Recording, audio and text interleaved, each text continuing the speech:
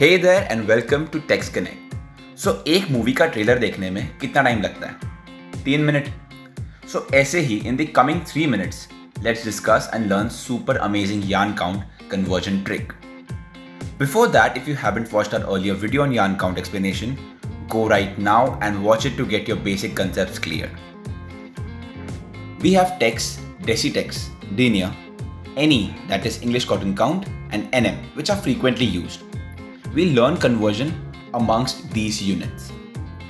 So the trick is to learn just one relation. And the relation is tex equals decitex by 10 equals denier by 9 equals 590.5 divided by Ne that equals 1000 upon nm.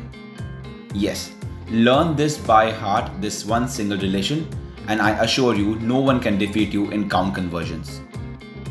So now with this relation in front of you, if someone asks 10 denier equals how many tex, you will be smart enough to put 10 in the place of denier and divide it by 9 to give the answer.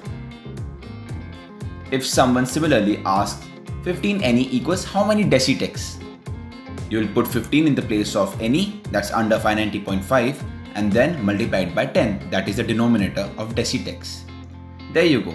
This is simple mathematics now. Fun right?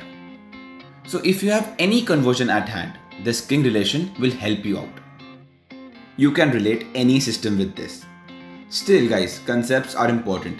This was a quicker way, but if you want to learn it conceptually, click on the yarn count video link in the description given below. Now why don't you try some of these by yourself? Solve them and let me know the answers in the comment section below. Until then, goodbye and stay connected.